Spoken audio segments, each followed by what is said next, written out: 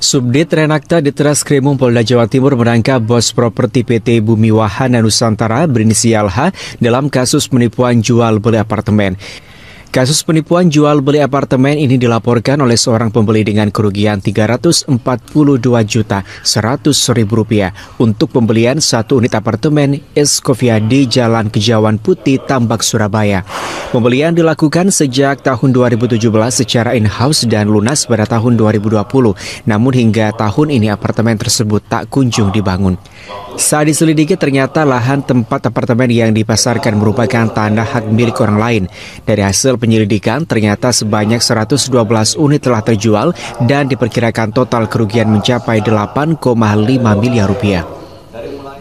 Jadi di sini kronologisnya pada bulan Maret ya 2017 ini terlapor saudara A atau B ini mengadakan acara ini produk Rolex di Ciputrawo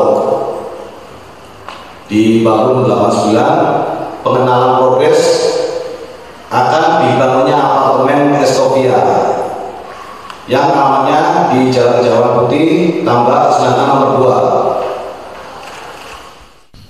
Dari kasus penipuan ini, Polda Jatim membuka hotline pengaduan bagi para pembeli apartemen untuk melakukan pelaporan kepolisian dengan nomor 082140427771.